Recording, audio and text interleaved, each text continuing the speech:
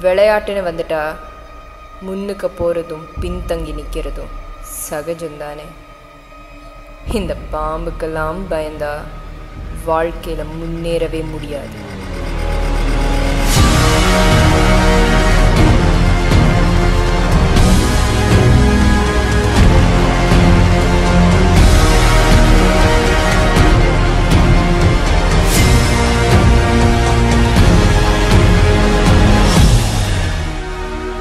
ஒரு பாம்பு மகுடியோட இசைக்கு தலையாட்டுமோ?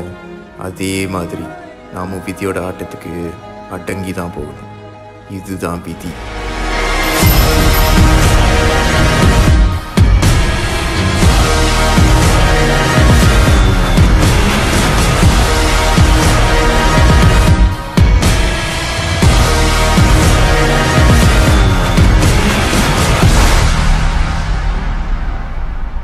ஆனா விதியை எப்படி சாமர்த்தியமா ஜெயிக்கிறதுன்னு யோசிக்கணும்.